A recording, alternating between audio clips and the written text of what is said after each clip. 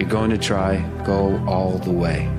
This could mean losing girlfriends, wives, relatives, jobs, and maybe your mind. Go all the way. Isolation is the gift. All the others are a test of your endurance, of how much you really want to do it. And you'll do it, despite rejection and the worst odds. If you're going to try, go all the way.